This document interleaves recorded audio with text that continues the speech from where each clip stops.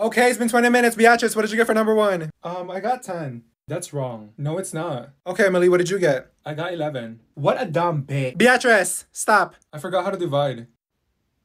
I'm the smartest person here, so. No one gives a shit. Ava, what did you get? I couldn't even solve it because why is there a bunch of letters next to the number? Just say you're stupid. Jessica, do you want me to beat your ass? Is the answer 10 or 11? I'm confused. Hmm, Olivia, want to share your answer? Uh, give me a minute.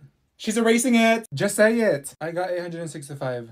What the fuck? She needs to go back to third grade. Beatrice, you got held back four times. I wouldn't be talking. Damn, four times? Olivia, you're like way off. Your face is way off. How about that? Olivia, can you explain how you got that? I'm too lazy, so no. Class, Olivia is the only one that got the answer right. How the fuck?